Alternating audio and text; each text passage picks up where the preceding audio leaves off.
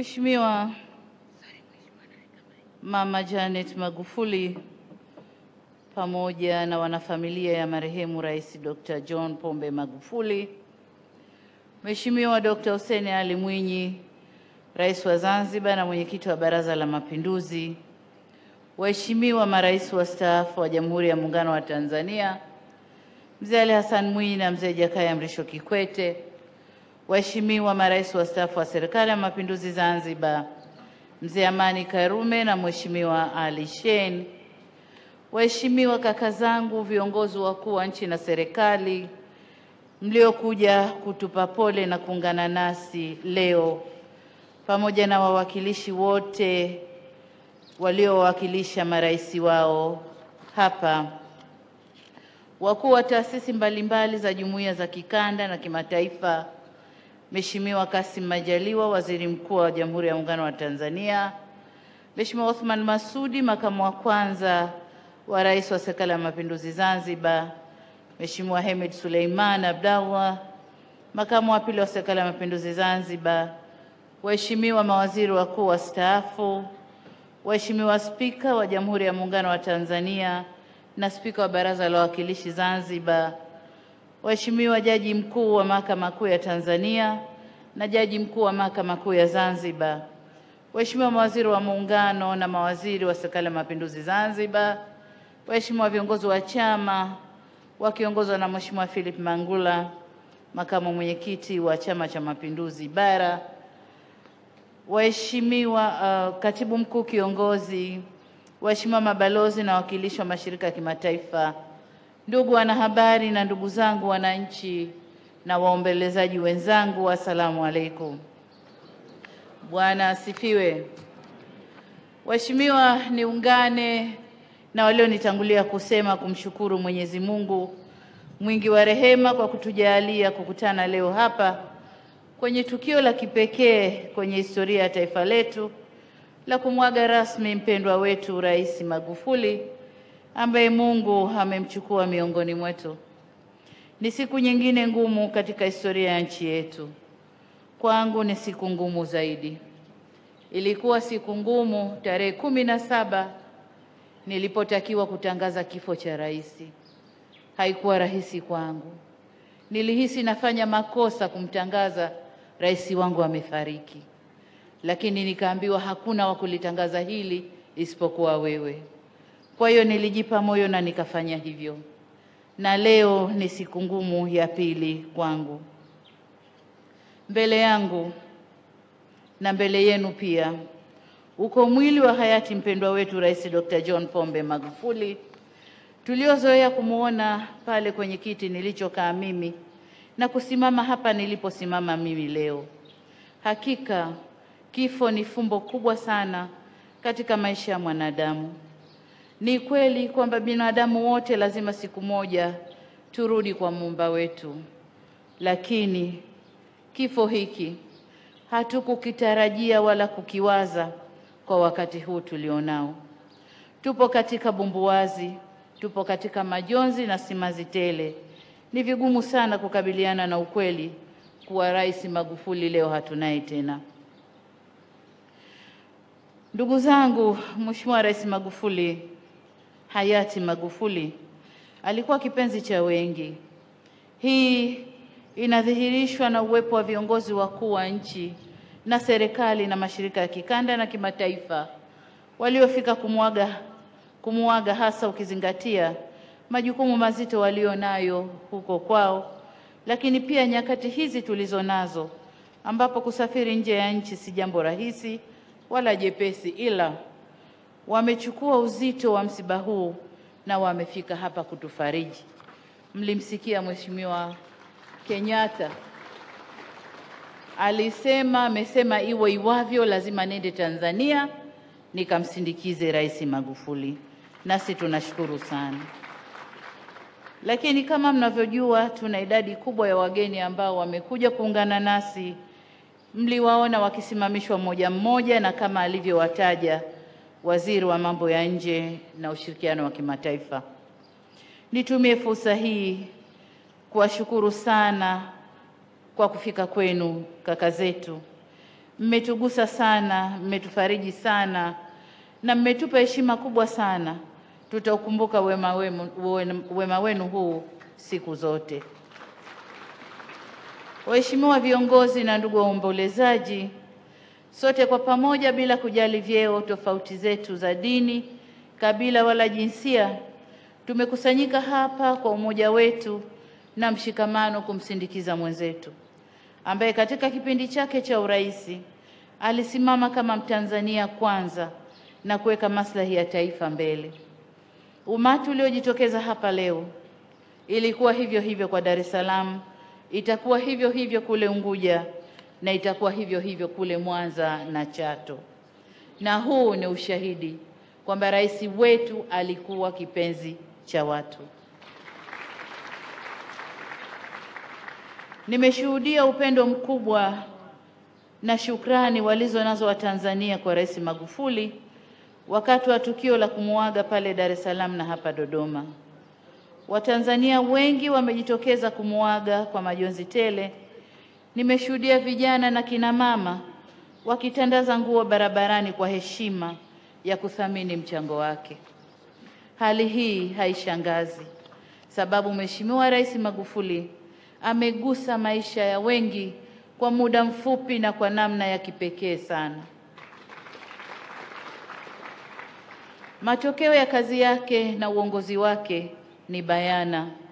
Umati uliojitokeza na simanzi walioionyesha ni kielelezo tosha kuhusu ukubwa na uzito wa msiba wenyewe. Ndugu zangu, hayati Rais Magufuli ni mtu aliyebahatika kusikia na kupokea sifa zake angali yu hai.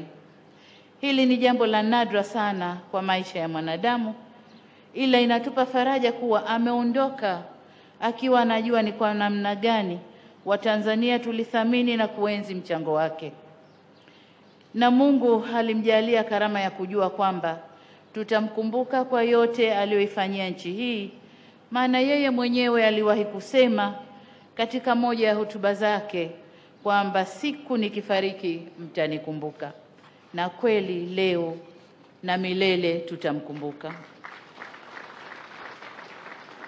Alikuwa sahihi sana, tunamkumbuka sana. Wengi mmeandika na kumweleza kwa kadri mlivyojua, ili mradi kila mmoja anaomboleza kwa namna yake. Kweli Rais Magufuli, tunakukumbuka sana, na vizazi kwa vizazi vitasimulia habari zako nzuri.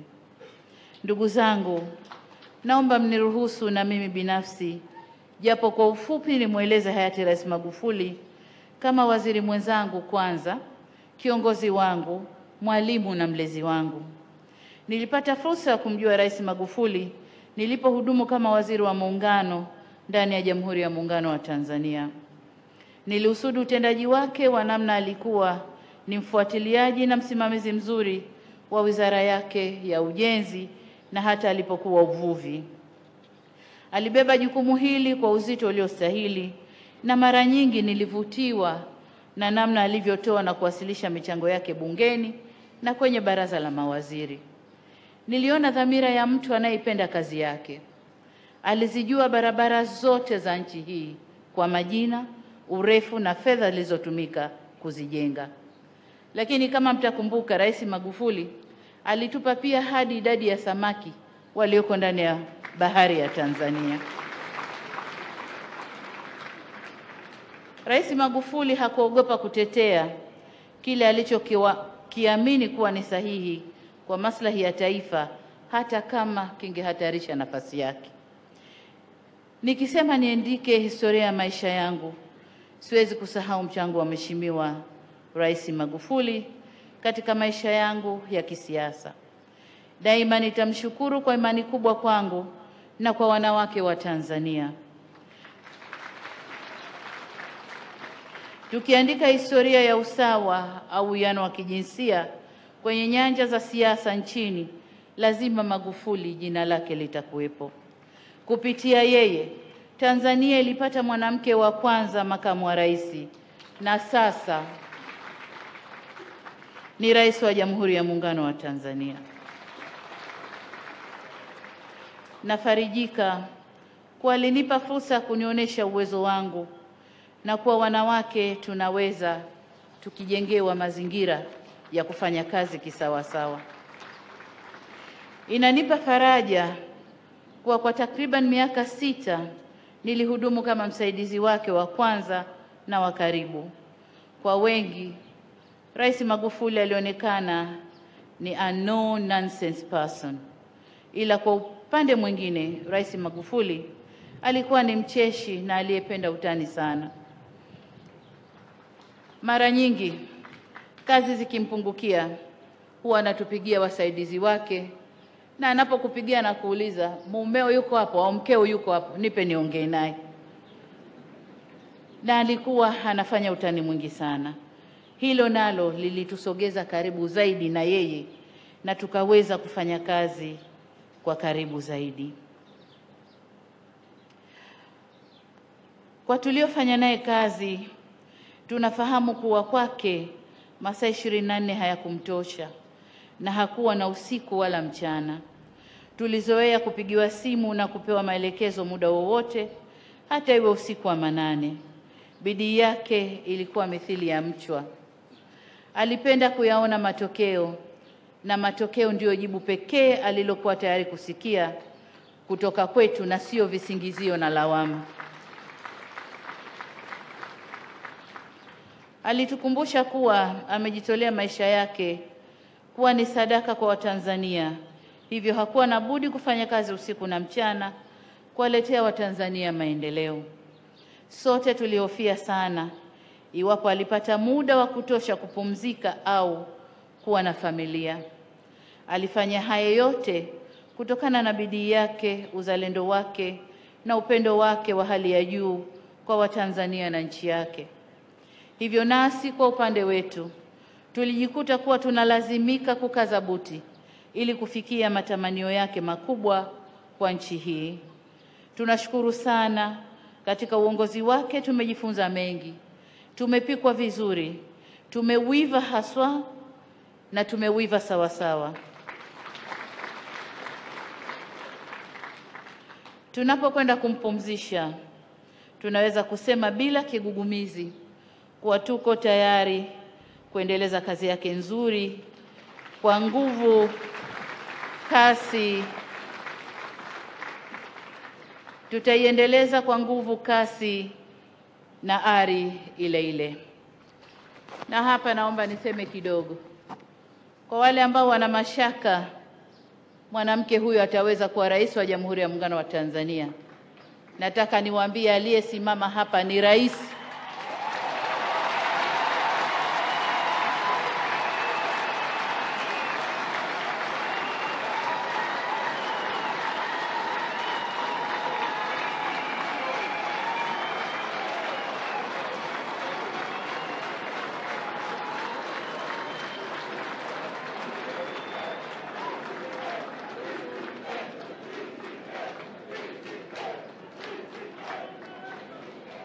Nataka nirudie kwamba aliyesimama hapa aliyesimama hapa kwenye taswira au taswira kwenye taswira au taswira yake ya ukali tuliyoiona katika matamshi yake.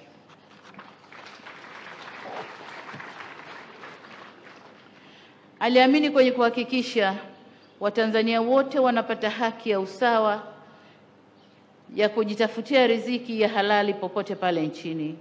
Hivyo alirasimisha sekta isiyo rasmi na kuweka mazingira wezeshi kwa wafanya biashara na wajasiriamali wadogo kuweza kufanya kazi zao na kupata riziki zao.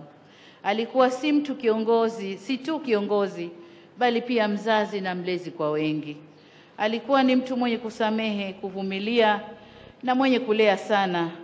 Zaidi alikuwa ni mtu mkweli sana. Nataka kusema alikuwa ni mtu wa kutumbua pia, maana mtajiuliza, mbona usemi alikuwa mtu wa kutumbua pia? Alikuwa ni mtu wa kutumbua kwa wale waliokithiri ada, Kiswahili tunasema.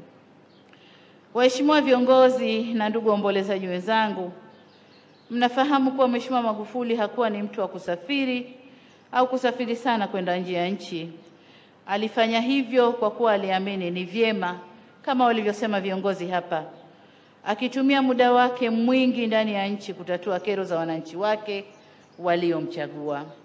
Lakini nataka niseme leo hapa, kazi hii alinipa mimi kuifanya, na namshukuru sana kwamba alijua labda kwamba mbele kitatokea kitu, na nilijenga na uwezo huu pia wa kufanya kazi katika taasisi za nje, na waliosimama hapa leo wote ni kaka zangu, niko na ukaribu, tunajuana kwa karibu zaidi.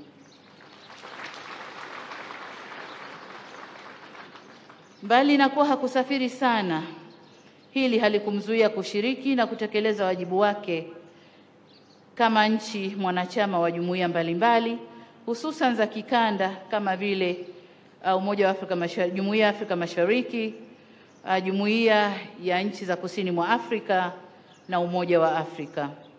Aliwahi kushika nafasi ya uwenyekiti wa Jumuiya ya Afrika Mashariki na kati ya masuala makubwa aliyoyafanya kipindi cha uwenyekiti wake wa jumuiya hii ni kuidhinisha nchi ya Sudani Kusini kuwa mwanachama wa sita wa jumuiya hiyo pamoja na kuondoa vikwazo vya ufanyaji wa biashara. Vile vile kama ilivyosemwa hapa, alipata fursa ya kuhudumu kama mwenyekiti wa Jumuiya ya Maendeleo ya Kusini mwa Afrika.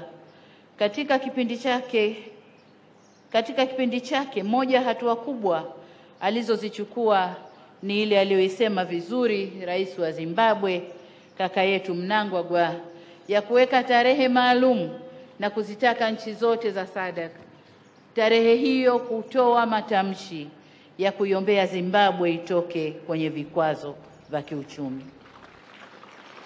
Yeye kama mwenyekiti alifananisha vikwazo walivyowekewa Zimbabwe kama vikwazo vya jumuiya yote ya SADC na alifananisha jumuiya ya SADC kama mtu kwamba ukiumwa kiungo kimoja mwili wote unakuwa unaumwa, na hivyo kwamba uh, Zimbabwe iko kwenye matatizo, aliiona SADC yote iko kwenye matatizo, na hivyo aliamua kuweka siku maalum, nchi zote zizungumze, tuseme kwa kauli moja mpaka vikwazo hivi viondolewe.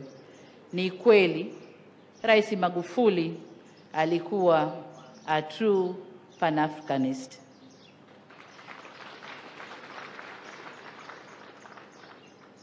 Akiwa pia mwenyekiti wa SADC kama mnavyojua, na hii ni habari mashuhuri kwamba aliweza kushawishi lugha ya Kiswahili itumike ndani ya SADC kama lugha pekee ya Kiafrika ambayo inatumika katika ukanda wa SADC au katika jumuiya yetu ya SADC. Waheshimiwa viongozi, ndugu waombolezaji, hayati Rais Magufuli alienzi na kuthamini mchango wa marais na viongozi wastaafu wote waliomtangulia na kumlea kwenye utumishi wa umma. Alikuwa ni muungwana aliyempa mtu sifa zake akiwa angali hai. Mara nyingi aliona fahari kueleza ni namna gani kafika pale alipofika baada ya kunolewa na viongozi wengi na jinsi malezi, na saha na makaripio ya viongozi hao yalimjenga kwenye maisha yake. Hakuwa mtu wa kujikweza, alitambua Tanzania ni zaidi ya yeye, na ndiyo maana katika shughuli mbalimbali za kitaifa tunawaona viongozi wetu wote wastaafu wanakuja kumuunga mkono. Nami niwaombe wazee wangu, marais wastaafu wa pande zote mbili za Muungano, lakini pia viongozi wengine wastaafu kwamba mimi ni kijana wenu pia kama alivyokuwa Rais Magufuli, na nipo tayari kushirikiana nanyi bega kwa bega katika kuijenga Tanzania aliyoitamani mpendwa wetu na tunayoitamani sisi wote. Nitumie fursa hii kwa mara nyingine tena kuhakikisha kuwa hakuna jambo litakaloharibika.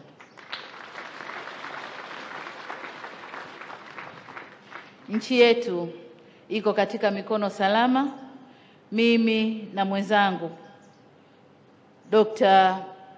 Hussein Ali Mwinyi tutaendeleza alipoishia na tutafika pale alipopatamani.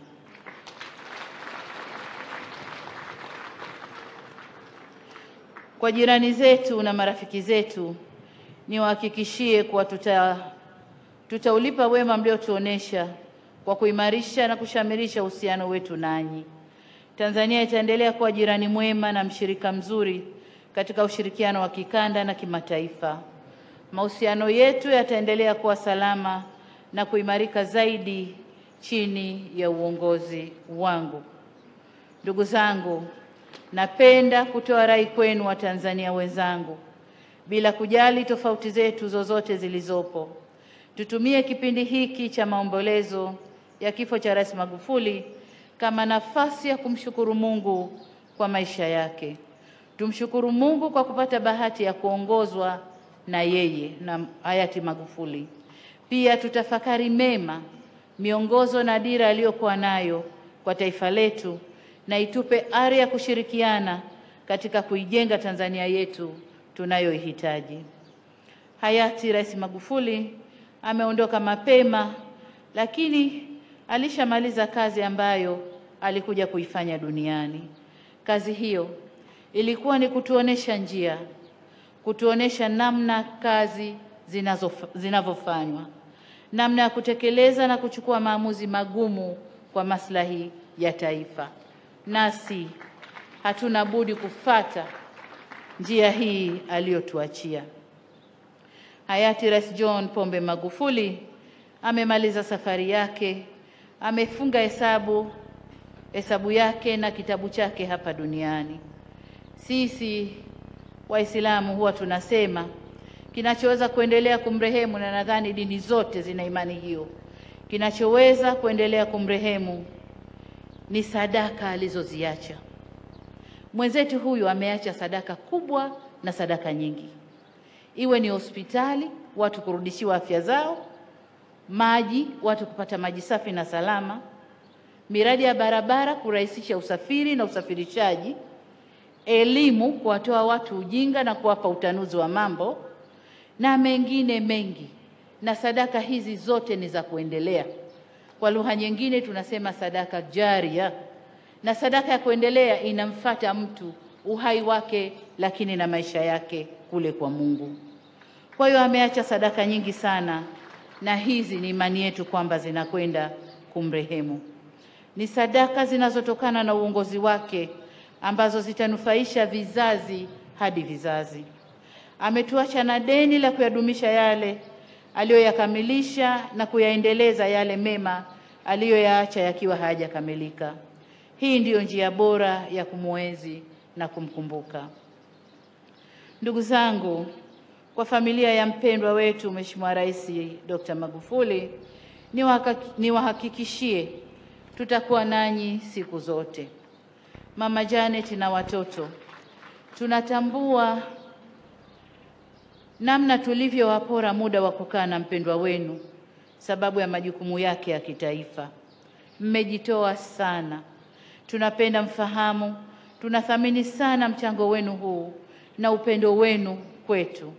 Mlikubali mumkose nyumbani ili sisi kama taifa tufaidike naye. Tunatambua subira yenu na ile siku ambayo angestaafu baada ya kumaliza muda wake ili ajumuike nanyi tena mfurahie kwa pamoja katika familia. Bahati mbaya hayakutokea, lakini sisi hupanga, lakini Mungu hupanga yake. Wanasema man propose. Niwahakikishie nitakuwa nanyi na tutawatazama na kuwashika mkono siku zote.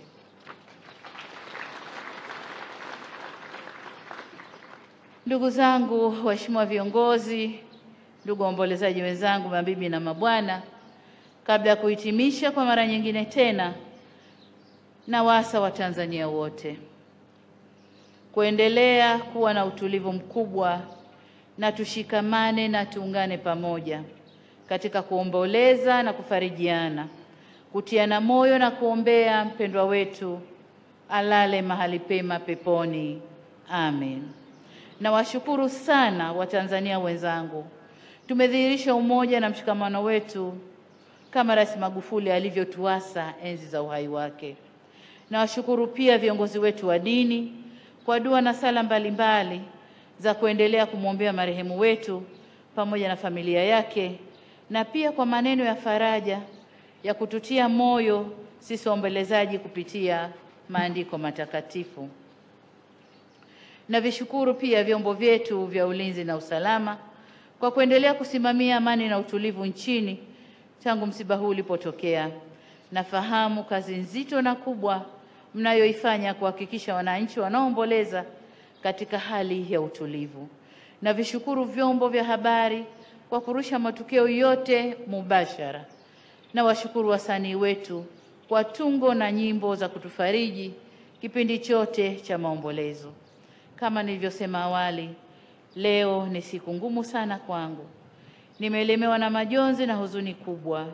Hii ni kwa sababu nimempoteza kiongozi na mlezi wangu, ila nashukuru nilipata fursa ya kuongea naye siku chache kabla kifo chake, pale nilipomtaarifu kwamba nakwenda kwenye ziara Tanga. Naye aliniambia, Samia, usiwe na wasiwasi, naendelea vizuri, nenda kafuatilia utekelezaji wa ilani ya CCM kama tulivyowaahidi wananchi, tutaitekeleza. Wape salamu zangu, waambie na wapenda sana. Na hayo ndio alikuwa maneno yake na mimi ya mwisho. Sikujua kwamba maneno yale yalikuwa ya kuniaga na kuaga Watanzania. Sikujua kwamba sitapokea simu yake tena, zile simu za asubuhi, we umerara mpaka saizi, amka, kuna hili na lile, nenda kafanya. Sijajua kwamba hazitakuja tena. Sikujua kama sitasoma mwandiko wake tena. Sikujua kwamba sitashauriana naye tena. Ni jambo ambalo litanichukua muda kulizoea. Namshukuru kwa upendo wake kwangu, malezi yake kwangu na imani yake kwangu, ambayo kwa pamoja vimeniandaa kupokea kijiti cha uongozi wa nchi yetu kutoka kwake.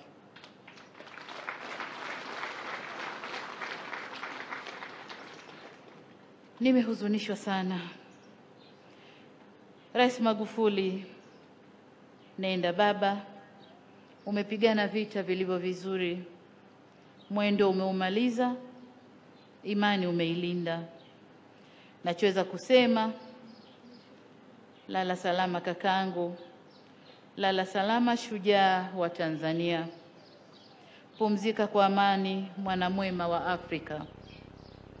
Raha ya milele umpe Bwana, na mwanga wa milele umwangazie, apumzike kwa amani. Inna lillahi wa inna ilahi rajiun. Mungu ibariki nchi yetu Tanzania, Mungu ibariki Afrika, na asanteni sana kwa kunisikiliza.